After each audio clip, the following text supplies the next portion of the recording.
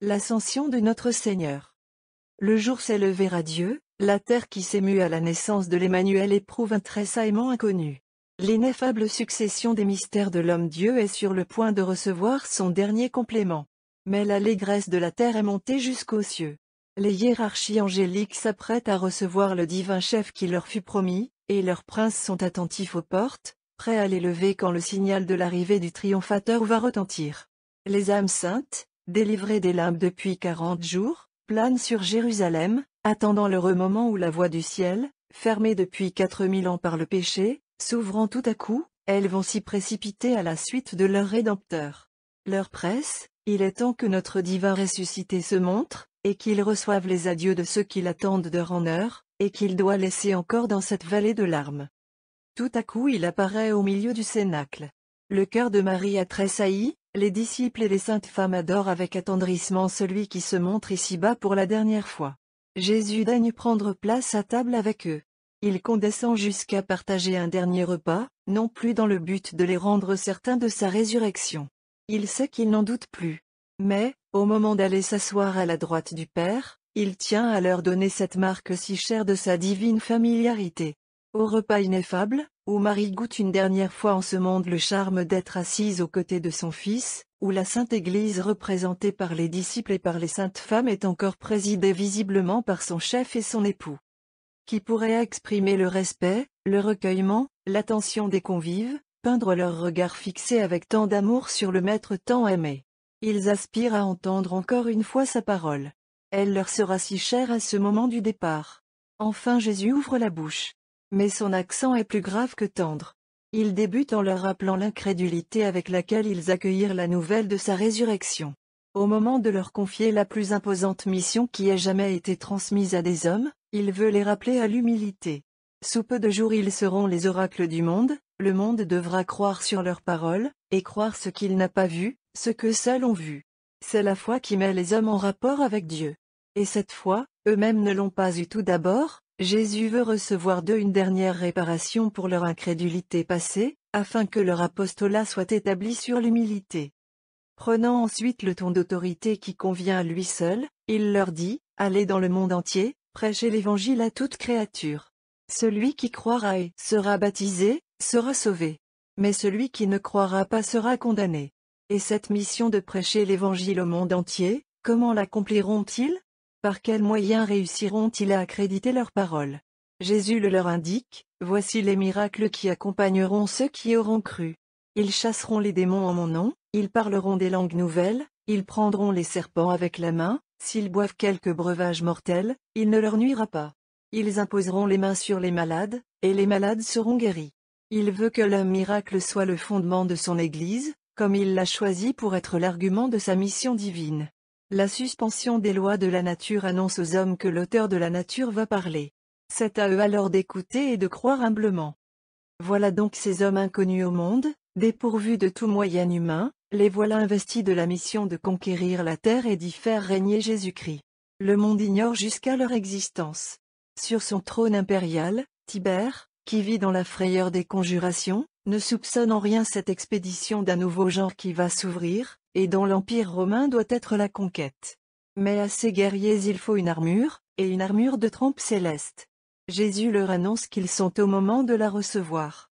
Demeurez dans la ville, leur dit-il, jusqu'à ce que vous ayez été revêtus de la vertu d'en haut. Or, quelle est cette armure? Jésus va le leur expliquer. Il leur rappelle la promesse du Père, cette promesse, dit-il, que vous avez entendue par ma bouche. Jean a baptisé dans l'eau. Mais vous, sous peu de jours, vous serez baptisés dans le Saint-Esprit. Mais l'heure de la séparation est venue. Jésus se lève, et l'assistance tout entière se dispose à suivre ses pas. 120 personnes se trouvaient là réunies avec la mère du divin triomphateur que le ciel réclamait. Le cénacle était situé sur la montagne de Sion, l'une des deux collines que renfermait l'enceinte de Jérusalem. Le cortège traverse une partie de la ville, se dirigeant vers la porte orientale qui ouvre sur la vallée de Josaphat. C'est la dernière fois que Jésus parcourt les rues de la cité réprouvée. Invisible désormais aux yeux de ce peuple qu'il a renié, il s'avance à la tête des siens, comme autrefois la colonne lumineuse qui dirigeait les pas du peuple israélite. Quelle est belle et imposante cette marche de Marie, des disciples et des saintes femmes, à la suite de Jésus qui ne doit plus s'arrêter qu'au ciel, à la droite du Père. La piété du Moyen Âge la célébrait jadis par une solennelle procession qui précédait la messe de ce grand jour. Heureux siècle, où les chrétiens aimaient à suivre chacune des traces du Rédempteur, et ne savaient pas se contenter, comme nous, de quelques vagues notions qui ne peuvent enfanter qu'une piété vague comme elle. On songeait aussi alors aux sentiments qui durent occuper le cœur de Marie durant ces derniers instants qu'elle jouissait de la présence de son Fils. On se demandait qui devait l'emporter dans ce cœur maternel, de la tristesse de ne plus voir Jésus, ou du bonheur de sentir qu'il allait entrer enfin dans la gloire qui lui était due. La réponse venait promptement à la pensée de ces véritables chrétiens, et nous aussi, nous nous la ferons à nous-mêmes. Jésus n'avait-il pas dit à ses disciples, Si vous m'aimiez, vous vous réjouiriez de ce que je m'en vais à mon Père? Or, qui aima plus Jésus que ne l'aima Marie? Le cœur de la mère était donc dans l'allégresse au moment de cet ineffable adieu. Marie ne pouvait songer à elle-même, quand il s'agissait du triomphe dû à son Fils et à son Dieu. Après les scènes du calvaire, Pouvait-elle aspirer à autre chose qu'avoir glorifié enfin celui qu'elle connaissait pour le souverain Seigneur de toutes choses, celui qu'elle avait vu si peu de jours auparavant renier, blasphémer, expirant dans toutes les douleurs? Le cortège sacré a traversé la vallée de Josaphat, il a passé le torrent de Cédron, et il se dirige sur la pente du mont des Oliviers. Quel souvenir se presse à la pensée? Ce torrent, dont le Messie dans ses humiliations avait bu l'eau bourbeuse, est devenu aujourd'hui le chemin de la gloire pour ce même Messie.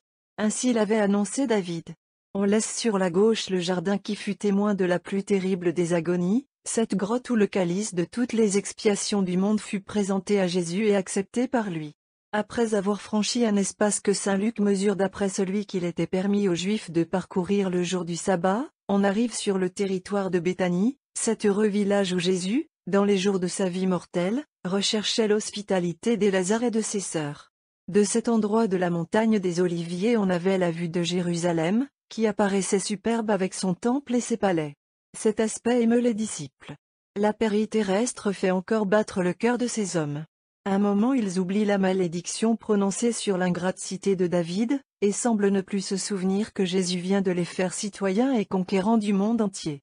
Le rêve de la grandeur mondaine de Jérusalem les a séduits tout à coup, et ils osent adresser cette question à leur maître, Seigneur, est-ce à ce moment que vous rétablirez le royaume d'Israël? Jésus répond avec une sorte de sévérité à cette demande indiscrète, il ne vous appartient pas de savoir les temps et les moments que le Père a réservés à son pouvoir. Ces paroles n'enlevaient pas l'espoir que Jérusalem fût un jour réédifiée par Israël devenu chrétien. Mais ce rétablissement de la cité de David ne devant avoir lieu que vers la fin des temps, il n'était pas à propos que le Sauveur fit connaître le secret divin. La conversion du monde païen, la fondation de l'Église, tels étaient les objets qui devaient préoccuper les disciples. Jésus les ramène tout aussitôt à la mission qu'il leur donnait il y a peu d'instants, vous allez recevoir, leur dit-il, la vertu du Saint-Esprit qui descendra sur vous, et vous serez mes témoins dans Jérusalem, dans toute la Judée et la Samarie, et jusqu'aux extrémités de la terre. Selon une tradition qui remonte au premier siècle du christianisme, il était l'heure de midi, l'heure à laquelle Jésus avait été élevé sur la croix, lorsque, jetant sur l'assistance un regard de tendresse qui dut s'arrêter avec une complaisance filiale sur Marie, il éleva les mains et les bénit tous. À ce moment ses pieds se détachèrent de la terre, et il s'élevait au ciel. Les assistants le suivaient du regard. Mais bientôt il entra dans une nuée qui le déroba à leurs yeux. C'en était fait, la terre avait perdu son Emmanuel. Quarante siècles l'avaient attendu, et il s'était rendu enfin au soupir des patriarches et aux vœux enflammés des prophètes. Nous l'adorâmes, captifs de notre amour, dans les chastes flancs de la Vierge bénie. Bientôt l'heureuse mère nous le présenta sous l'humble toit d'une étable à Bethléem. Nous le suivîmes en la terre d'Égypte, nous l'accompagnâmes au retour, et nous vîmes nous fixer avec lui à Nazareth. Lorsqu'il partit pour exercer sa mission de trois ans dans sa patrie terrestre, nous nous attachâmes à ses pas, ravis des charmes de sa personne, écoutant ses discours et ses paraboles, assistant à ses prodiges. La malice de ses ennemis étant montée à son comble, il est revenu où il devait mettre le sceau à cet amour qu'il avait attiré du ciel en terre par la mort sanglante et ignominieuse de la croix, nous recueillîmes son dernier soupir et nous fûmes inondés de son sang divin. Le troisième jour, il s'échappait de son sépulcre vivant et victorieux, et nous étions là encore pour applaudir à son triomphe sur la mort, par lequel il nous assurait la gloire d'une résurrection semblable à la sienne. Durant les jours qu'il a daigné habiter encore cette terre, notre foi ne l'a pas quitté. Nous eussions voulu le conserver toujours. Et voici qu'à cette heure même il échappe à nos regards, et notre amour n'a pu le retenir. Plus heureuse que nous, les âmes des justes qu'il avait délivrées des limbes l'ont suivi dans son vol rapide, et elles jouissent pour l'éternité des délices de sa présence. Les disciples tenaient encore les yeux fixés au ciel, lorsque soudain deux anges vêtus de blanc se présentèrent à eux et leur dirent, Hommes de Galilée, pourquoi vous arrêtez-vous à regarder au ciel? Ce Jésus qui vous a quitté pour s'élever au ciel reviendra un jour en la même manière que vous l'avez vu monter. Ainsi, le Sauveur est remonté, et le juge doit un jour redescendre, toute la destinée de l'Église est comprise entre ces deux termes. Nous vivons donc présentement sous le régime du Sauveur. Car notre Emmanuel nous a dit que le Fils de l'homme n'est pas venu pour juger le monde, mais afin que le monde soit sauvé par lui. Et c'est dans ce but miséricordieux que les disciples viennent de recevoir la mission d'aller par toute la terre et de convier les hommes au salut, pendant qu'il en est temps encore. Quelle tâche immense Jésus leur a confiée. Et au moment où il s'agit pour eux de s'y livrer, il les quitte. Il leur faut descendre seul cette montagne des Oliviers d'où il est parti pour le ciel. Leur cœur cependant n'est pas triste. Ils ont Marie avec eux, et la générosité de cette mère incomparable se communique à leurs âmes. Ils aiment leur maître. Leur bonheur est désormais de penser qu'il est entré dans son repos. Les disciples rentrèrent dans Jérusalem, remplis d'une vive allégresse, nous dit saint Luc, exprimant par ce seul mot l'un des caractères de cette ineffable fête de l'Ascension, de cette fête empreinte d'une si douce mélancolie, mais qui respire en même temps plus qu'aucune autre la joie et le triomphe. Durant son octave, nous essayerons d'en pénétrer les mystères et de la montrer dans toute sa magnificence. Aujourd'hui nous nous bornerons à dire que cette solennité est le complément de mule les mystères de notre divin Rédempteur, qu'elle est du nombre de celles qui ont été instituées par les apôtres eux-mêmes. Enfin qu'elle a rendu sacré pour jamais le jeudi de chaque semaine, jour rendu déjà si auguste par l'institution de la divine Eucharistie. Nous avons parlé de la procession solennelle par laquelle on célébrait, au Moyen Âge, la marche de Jésus et de ses disciples vers le mont des Oliviers. Nous devons rappeler aussi qu'en ce jour on bénissait solennellement du pain et des fruits nouveaux, en mémoire du dernier repas que le Sauveur avait pris dans le Cénacle. Imitons la piété de ces temps où les chrétiens avaient à cœur de recueillir les moindres traits de la vie de l'homme-dieu, et de se les rendre propres, pour ainsi dire, en reproduisant dans leur manière de vivre toutes les circonstances que le Saint-Évangile leur révélait. Jésus-Christ était véritablement aimé et adoré dans ces temps où les hommes se souvenaient sans cesse qu'il est le souverain Seigneur, comme il est le commun rédempteur. Point de nos jours, c'est l'homme qui règne, à ses risques et périls. Jésus-Christ est refoulé dans l'intime de la vie privée, lui pourtant il a droit à être notre préoccupation de tous les jours et de toutes les heures. Les anges dirent aux apôtres, en la manière que vous l'avez vu monter, ainsi un jour il descendra. Puissions-nous l'avoir aimé et servi durant son absence avec assez d'empressement, pour oser soutenir ses regards lorsqu'il apparaîtra tout à coup. Nous ne donnons point ici l'office des premières vêpres de l'ascension, parce que cette fête étant fixe au jeudi, sa vigile ne peut jamais se rencontrer le dimanche, tandis qu'il en est autrement pour les solennités auxquelles nous avons accordé ce développement. Au reste, sauf le verset et l'antienne de Magnificat, les premières et les secondes vêpres de l'Ascension sont entièrement semblables. À tierce. L'hymne et les trois psaumes dont se compose l'office de tierce, se trouvent ci-dessus, page 49. Ent. Le voyant donc qui montait au ciel, ils prononcèrent l'Alléluia. Capitule. Acte. 1. J'ai parlé dans mon premier livre, ô Théophile, de tout ce que Jésus a fait et enseigné, jusqu'au jour où il fut élevé au ciel, après avoir instruit par le Saint-Esprit les apôtres qu'il avait choisis. R. Dieu est monté aux acclamations de la joie, Alléluia, Alléluia. Dieu est monté. V. Et le Seigneur s'est élevé au son de trompette. Alléluia, Alléluia. Gloire au Père. Dieu est monté. V. Le Christ montant dans les cieux, Alléluia. R. a emmené avec lui ceux qui furent captifs, Alléluia. L'oraison et la collecte de la messe, page 147. À la messe. L'Église romaine indique aujourd'hui pour la station la basilique de Saint-Pierre. C'est une belle pensée de réunir en un tel jour l'assemblée des fidèles autour du glorieux tombeau d'un des principaux témoins de la triomphante ascension de son maître. Cette station est toujours maintenue. Mais, depuis plusieurs siècles, le pape se rend avec le sacré collège des cardinaux à la basilique du Latran, afin de terminer dans cet antique sanctuaire, dédié par Constantin au Sauveur des hommes, la série annuelle des mystères par lesquels le Fils de Dieu a opéré et consomme aujourd'hui notre salut. Dans ces deux augustes basiliques, comme dans les plus humbles églises de la chrétienté, le symbole liturgique de la fête est le cierge pascal, que nous vîmes allumer dans la nuit de la résurrection, et qui était destiné à figurer, par sa lumière de quarante jours, la durée du séjour de notre divin ressuscité au milieu de ceux qu'il a daigné appeler ses frères. Les regards des fidèles rassemblés s'arrêtent avec complaisance sur sa flamme scintillante, qui semble briller d'un éclat plus vif, à mesure qu'approche l'instant où elle va succomber. Bénissons notre Mère la Sainte Église à qui l'Esprit Saint a inspiré l'art de nous instruire et de nous émouvoir à l'aide de tant d'ineffables symboles, et rendons gloire au Fils de Dieu qui a daigné nous dire, Je suis la lumière du monde. L'introïte annonce avec éclat la grande solennité qui nous rassemble. Il est formé des paroles des anges apôtres sur le mont des Oliviers. Jésus est monté aux cieux. Jésus en doit redescendre un jour. Introïte. Homme de Galilée, pourquoi regardez-vous au ciel avec tant d'étonnement? Alléluia. En la manière dont vous l'avez vu monter au ciel, ainsi il reviendra, Alléluia. Alléluia. Alléluia. PS. Peuple, battez des mains. Célébrez Dieu avec transport par des chants d'allégresse. Gloire au port. Homme de Galilée. La Sainte Église recueillant les vœux de ses enfants dans la collecte, demande pour eux à Dieu la grâce de tenir leur cœur attaché au divin Rédempteur, que leurs désirs doivent désormais chercher jusqu'au ciel où il est monté le premier. Collecte. Faites-nous cette grâce, ô Dieu Tout-Puissant, que nous qui croyons que votre lit unique, notre Rédempteur, est aujourd'hui monté au ciel, nous y habitions déjà aussi nous-mêmes par l'ardeur de nos désirs. Par le même Jésus-Christ notre Seigneur. Épître. Lecture des Actes des Apôtres. Chapitre 1.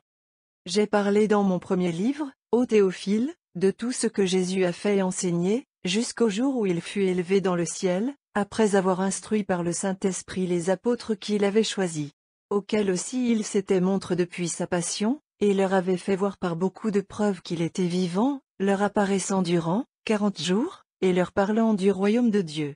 Et prenant un repas avec eux, il leur commanda de ne pas sortir de Jérusalem, mais d'attendre la promesse du Père, que vous avez, leur dit-il, entendu de ma propre bouche car Jean a baptisé dans l'eau. Mais vous, sous peu de jours, vous serez baptisés dans le Saint-Esprit. Alors ceux qui se trouvaient présents lui demandèrent, Seigneur, sera-ce en ce moment que vous rétablirez le royaume d'Israël? Mais il leur dit, Il ne vous appartient pas de savoir les temps et les moments que le Père a réservés à son pouvoir. Mais vous recevrez la vertu du Saint-Esprit qui descendra sur vous, et vous serez mes témoins dans Jérusalem, et dans toute la Judée et la Samarie, et jusqu'aux extrémités de la terre. Et après qu'il eut dit ces choses, ils le virent s'élever vers le ciel. Et il entra dans une nuée qui le déroba à leurs yeux. Et comme ils le suivaient du regard montant au ciel, deux hommes vêtus de blanc se présentèrent tout à coup à eux. Et leur dirent, Hommes de Galilée, pourquoi vous arrêtez-vous à regarder au ciel? Ce Jésus qui en vous quittant s'est élevé au ciel, viendra de la même manière que vous l'y avez vu monter. Nous venons d'assister, en suivant cet admirable récit, au départ de notre Emmanuel pour les deux. Est-il rien de plus attendrissant que ce regard des disciples fixés sur leur Maître divin qui s'élève tout à coup en les bénissant? Mais un nuage vient s'interposer entre Jésus et eux, et leurs yeux mouillés de larmes ont perdu la trace de son passage. Ils sont seuls désormais sur la montagne. Jésus leur a enlevé sa présence visible. Dans ce monde désert, quel ne serait pas leur ennui, si sa grâce ne les soutenait, si l'Esprit divin n'était au moment de descendre sur eux et de créer en eux un nouvel être, ce n'est donc plus qu'au ciel qu'ils le reverront, celui qui, étant Dieu, daigna durant trois années être leur maître, et qui, à la dernière scène, voulut bien les appeler ses amis. Mais le deuil n'est pas pour eux seulement. Cette terre qui recevait en frémissant de bonheur la trace des pas du Fils de Dieu, ne sera plus foulée par ses pieds sacrés. Elle a perdu cette gloire qu'elle attendit quatre mille ans, la gloire de servir d'habitation à son divin auteur. Les nations sont dans l'attente d'un libérateur. Mais, hors de la Judée et de la Galilée, les hommes ignorent que ce libérateur est venu et qu'il est remonté aux cieux. L'œuvre de Jésus cependant n'en demeurera pas là. Le genre humain connaîtra sa venue. Et, quant à son ascension au ciel en ce jour, écoutez la voix de la Sainte Église qui dans les cinq parties du monde retentit et proclame le triomphe de l'Emmanuel. Dix-huit siècles se sont écoulés depuis son départ, et nos adieux pleins de respect et d'amour s'unissent encore à ceux que lui adressèrent ses disciples, pendant qu'il s'élevait au ciel. Nous aussi nous pleurons son absence. Mais nous sommes heureux aussi de le voir glorifié, couronné, assis à la droite de son Père. Vous êtes entrés dans votre repos, Seigneur. Nous vous adorons sur votre trône, nous qui sommes vos rachetés, votre conquête. Bénissez-nous, attirez-nous à vous, et daignez faire que votre dernier avènement soit notre espoir et non notre crainte. Les deux versets de l'Alléluia répètent les accents de David célébrant d'avance le Christ qui monte dans sa gloire, les acclamations des anges, les sons éclatants des trompettes célestes, le superbe trophée que le vainqueur entraîne après lui dans ses heureux captifs qu'il a délivrés de la prison des limbes. Alléluia, Alléluia. V. Dieu est monté au ciel au milieu des cris de joie. Le Seigneur est monté au son des trompettes. Alléluia. V. Le Seigneur du Sina est entré dans son sanctuaire. Il est monté en haut, et il a emmené avec lui ceux qui furent captifs. Alléluia. Évangile. La suite du Saint Évangile selon Saint Marc. Chap. 16. En ce temps-là, les onze disciples étant à table, Jésus leur apparut, et il leur reprocha leur incrédulité et la dureté de leur cœur, de n'avoir pas cru à ceux qui avaient vu qu'il était ressuscité. Et il leur dit, Allez par le monde entier, Prêchez l'évangile à toute créature. Celui qui croira et qui sera baptise, sera sauvé. Mais celui qui ne croira pas sera condamné. Voici les miracles qui accompagneront ceux qui auront cru, ils chasseront les démons en mon nom. Ils parleront des langues nouvelles. Ils prendront les serpents avec la main. Et s'ils boivent quelque breuvage mortel, il ne leur nuira pas. Ils imposeront les mains sur les malades, et les malades seront guéris. Et après leur avoir parlé, le Seigneur Jésus fut élevé au ciel, où il est assis à la droite de Dieu. Et eux étant partis prêchèrent partout, le Seigneur coopérant avec eux, et confirmant leurs paroles par les miracles qui l'accompagnaient. Le diacre ayant achevé ces paroles, un acolyte monte à l'ambon, et éteint silencieusement le cierge mystérieux qui nous rappelait la présence de Jésus ressuscité. Ce rite expressif annonce le commencement du veuvage de la Sainte Église, et avertit nos âmes que pour contempler désormais notre Sauveur, il nous faut aspirer au ciel où il réside. Que rapide a été son passage ici-bas. Que de générations se sont succédées, que de générations se succéderont encore jusqu'à ce qu'il se montre de nouveau. Loin de lui, la Sainte Église ressent les langueurs de l'exil.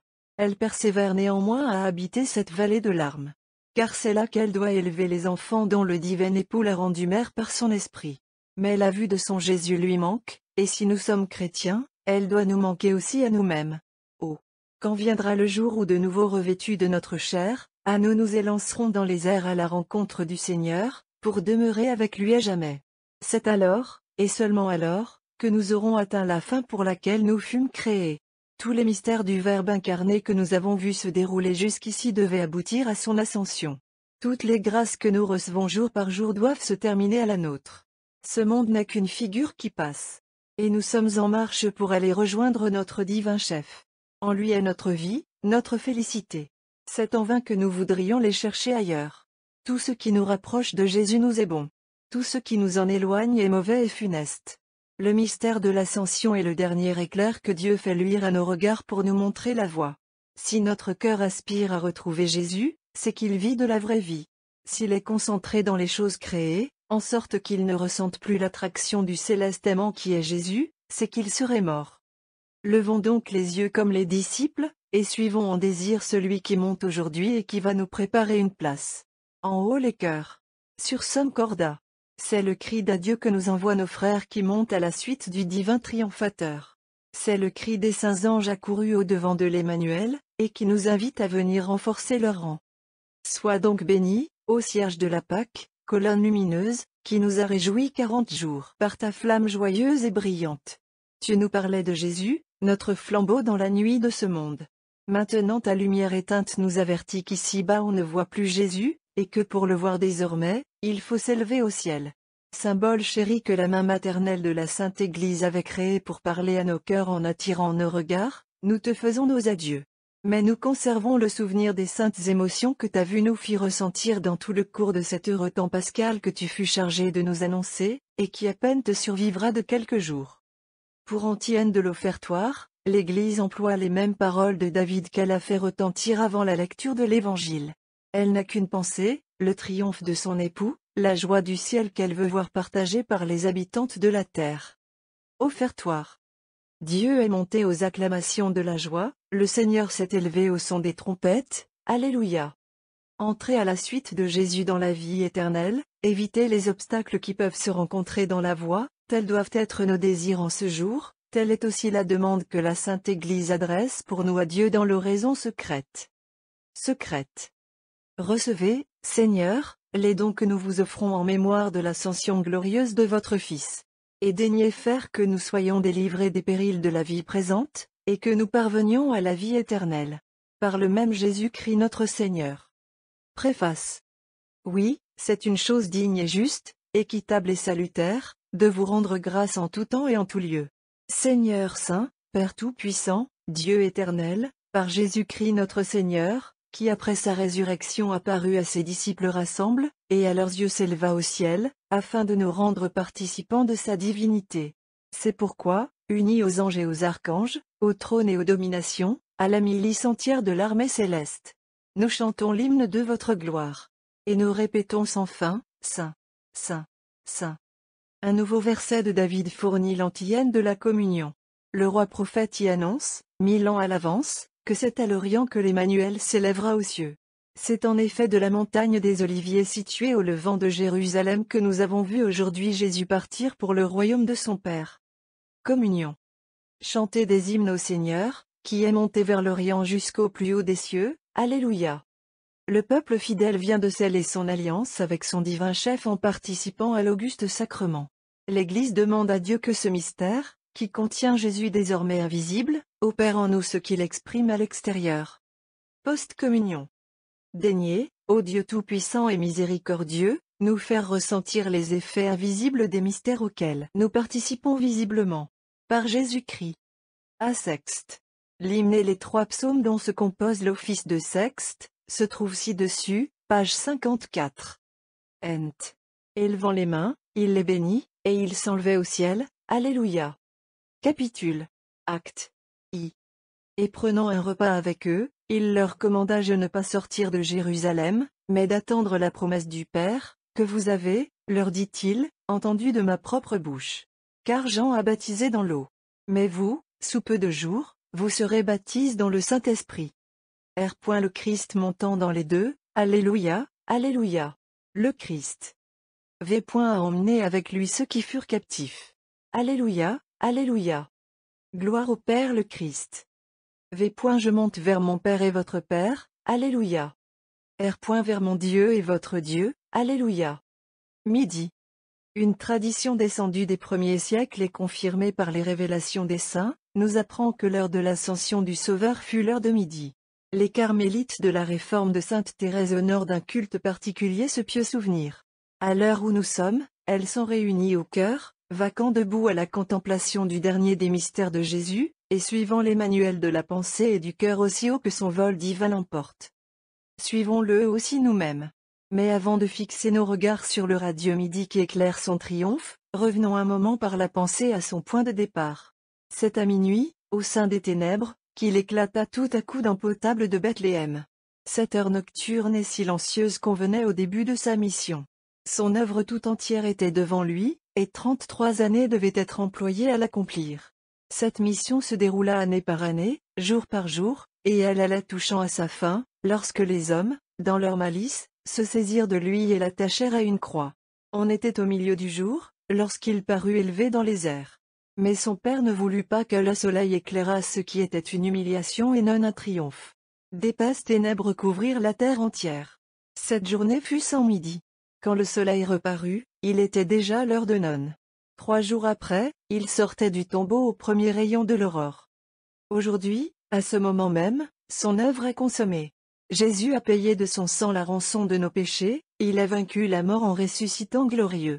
N'a-t-il pas le droit de choisir pour son départ l'heure où le soleil, son image, verse tous ses feux et inonde de lumière cette terre que son Rédempteur va échanger pour le ciel? Salut donc, heure de midi deux fois sacrée, puisque tu nous redis chaque jour et la miséricorde et la victoire de notre Emmanuel. Gloire à toi pour la double auréole que tu portes, le salut de l'homme par la croix, et rentrée de l'homme au royaume des cieux. Point d'exclamation. Mais n'êtes-vous pas aussi vous-même le midi de nos âmes, ô Jésus, soleil de justice? Cette plénitude de lumière à laquelle nous aspirons, cette ardeur de l'amour éternel qui seul peut nous rendre heureux, où les trouverons-nous, sinon en vous qui êtes venus ici-bas éclairer nos ténèbres et fondre nos glaces? Dans cette espérance, nous écoutons les mélodieuses paroles de Gertrude votre fidèle épouse, et nous sollicitons la grâce de pouvoir un jour les répéter après elle, ô amour, ô midi dont l'ardeur est si douce, vous êtes à l'heure du repos sacré, et la paix entière que l'on goûte en vous fait nos délices. Ô mon bien-aimé, élu et choisi au-dessus de toute créature, faites-moi savoir, montrez-moi le lieu où vous paissez votre troupeau, où vous prenez votre repos à l'heure de midi. Mon cœur s'enflamme à la pensée de vos doux loisirs à ce moment. Oh S'il m'était donné d'approcher de vous assez près pour n'être plus seulement près de vous, mais en vous. Par votre influence, ô soleil de justice, toutes les fleurs des vertus sortiraient de moi qui ne suis que cendre et poussière. Fécondé par vos rayons, ô mon maître et mon époux, mon âme produirait les nobles fruits de toute perfection. Enlevé de cette vallée de misère, admise à contempler vos traits si désirés, mon bonheur éternel serait de penser que vous n'avez pas dédaigné, ô miroir sans tache, de vous unir à une pécheresse telle que moi. Anon. L'hymne et les psaumes, ci-dessus, page 59. Ent. Comme il le considérait, il s'éleva, et une nuée le reçut pour le porter jusqu'au ciel, Alléluia. Capitule. Acte. 1. Homme de Galilée, pourquoi vous arrêtez-vous à regarder au ciel? Ce Jésus qui en vous quittant s'est élevé au ciel, viendra de la même manière que vous l'y avez vu monter. R.Br. Je monte vers mon Père et votre Père, Alléluia, Alléluia. Je monte. V. vers mon Dieu et votre Dieu. Alléluia, Alléluia. Gloire au Père. Je monte. V. au ciel, le Seigneur, Alléluia. R. a préparé son trône, Alléluia. À vêpres. Le Seigneur Jésus a disparu de la terre. Mais son souvenir et ses promesses sont demeurés au fond du cœur de la Sainte Église. Elle suit par la pensée le triomphe si splendide de son époux, triomphe si mérité après l'œuvre accomplie du salut des hommes. Elle ressent son veuvage. Mais elle attend d'une foi ferme le consolateur promis. Cependant les heures s'écoulent, le soir approche. Elle rassemble alors ses enfants, et dans l'office des vêpres, elle repasse avec eux le profond mystère de ce grand jour. Les antiennes des psaumes reproduisent le récit de l'événement qui s'est accompli à l'heure de midi. Elles sont mélodieuses, mais non sans une expression triste comme il convient au jour des adieux. Ent. Homme de Galilée, pourquoi regardez-vous au ciel? Ce Jésus qui en vous quittant s'est élevé au ciel, viendra de la même manière, Alléluia. Psaume 6. Dixit Dominus, page 65. Ent. Le voyant donc qui montait au ciel, ils prononcèrent l'Alléluia. Psaume CX. Confitebor, page 66. Ent. Élevant les mains, il les bénit, et il s'enlevait au ciel, Alléluia. Psaume 111. Beatus Vir, page 67. Ent célébrait avec transport le roi des rois, et chantait un hymne à Dieu, Alléluia. Psaume 12. Laudate, Pueri, page 68. Ent. Comme il le considérait, il s'éleva, et une nuée le reçut pour le porter jusqu'au ciel, Alléluia. Psaume 176. Toutes les nations, louez le Seigneur. Tous les peuples, proclamez sa gloire. Car sa miséricorde s'est affermie sur nous, et la vérité du Seigneur demeure éternellement. Capitule. Acte. I. J'ai parlé dans mon premier livre, ô Théophile, de tout ce que Jésus a enseigné, jusqu'au jour où il fut élevé au ciel, après avoir instruit par le Saint-Esprit les apôtres qu'il avait choisis. L'hymne, pleine de suavité, a pour auteur saint Ambroise. Mais elle a été retouchée plus ou moins heureusement au XVII degré siècle. Hymne. Auteur du salut de l'homme, ô Jésus, amour des cœurs, créateur de ce monde que vous avez racheté, chaste lumière de ceux qui vous aiment. Vaincu par votre clémence, vous vous étiez chargé de nos crimes. Innocent, vous souffrîtes la mort, afin de nous arracher nous-mêmes au trépas. Votre bras a brisé les portes des enfers, vous avez fait tomber les chaînes des captifs. Après votre victoire vous avez obtenu le plus noble triomphe, et vous êtes venu vous asseoir à la droite du Père. Laissez-vous fléchir par votre bonté, daignez réparer nos malheurs nouveaux. Montrez-nous votre visage divin, donnez-nous le bonheur au sein de la lumière qui rend heureuses les âmes. Vous êtes notre guide et notre sentier jusqu'aux cieux. Soyez aussi le but que désirent nos cœurs. Soyez la joie de nos larmes et la douce récompense d'une vie consacrée à vous. Amen. V. au ciel, le Seigneur, Alléluia. R. a préparé son trône, Alléluia.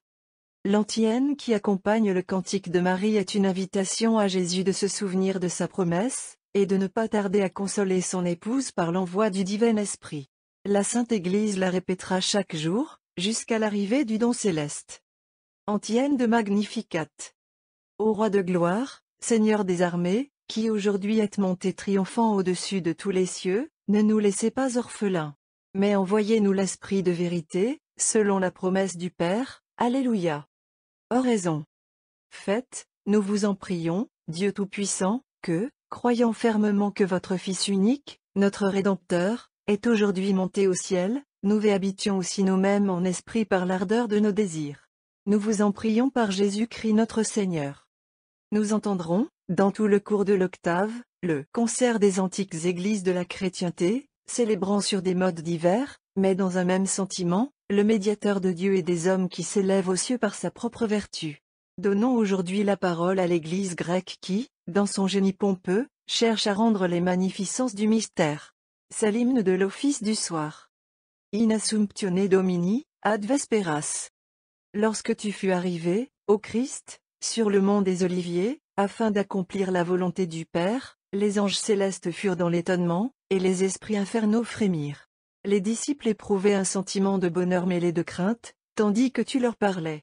En face, à l'Orient, un nuage apparaissait semblable à un trône prépare. Le ciel dont les portes étaient ouvertes se montrait dans toute sa beauté. Et la terre allait apprendre comment Adam, après sa chute, pourra remonter encore. Mais tout à coup tes pieds s'élèvent dans les airs, comme si une main les soutenait, ô Christ. Ta bouche répète des bénédictions aussi longtemps que ses accents se font entendre. Le nuage te reçoit, et bientôt le ciel lui-même. Telle est l'œuvre sublime que tu as opérée, Seigneur, pour accomplir le salut de nos âmes. La nature d'Adam qui était tombée jusque dans les profondeurs de la terre, cette nature que tu as renouvelée, ô Dieu, tu l'élevais aujourd'hui avec toi au-dessus des principautés et des puissances. Dans ton amour pour elle, tu l'établis là même où tu résides. Dans ta compassion, tu te l'étais uni, tu avais souffert en elle, toi qui es impassible, et à cause de ces souffrances que tu as partagées, tu l'associes aujourd'hui à ta gloire.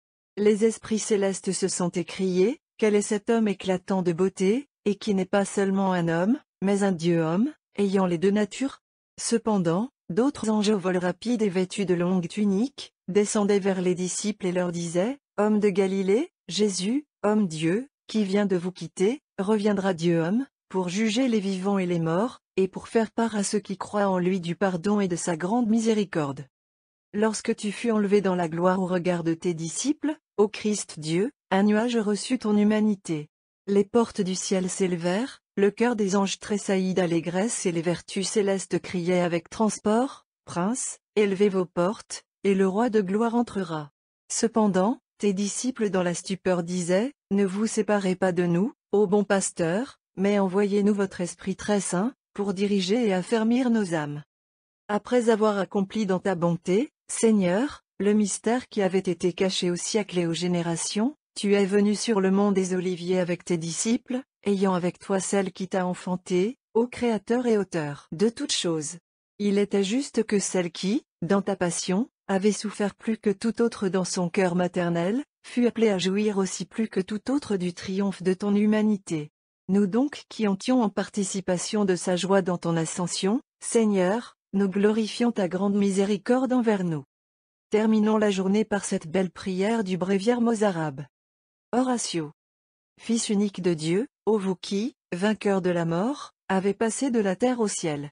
Fils de l'homme dans votre nature extérieure, éblouissant d'éclat sur votre trône, objet continuel des louanges de toutes les milices célestes, ne permettez pas que nous nous laissions enchaîner par les liens coupables de ce monde, nous qui, dans les transports de notre foi, célébrons votre ascension vers le Père.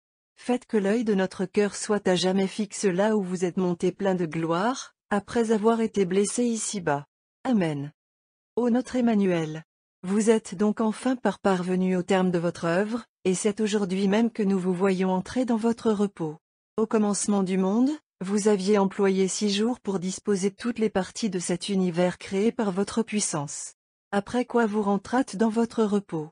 Plus tard, lorsque vous eûtes résolu de relever votre œuvre tombée par la malice de l'ange rebelle, votre amour vous fit passer, durant le cours de 33 années, par une succession sublime d'actes à l'aide desquels s'opérait notre rédemption et notre rétablissement au degré de sainteté et de gloire dont nous étions déchus. Vous n'avez rien oublié, ô Jésus, de ce qui avait été arrêté éternellement dans les conseils de la glorieuse Trinité, de ce que les prophètes avaient annoncé de vous. Votre triomphante ascension met le sceau à la mission que vous avez daigné accomplir dans votre miséricorde. Pour la seconde fois vous entrez dans votre repos. Mais vous y entrez avec la nature humaine appelée désormais aux honneurs divins.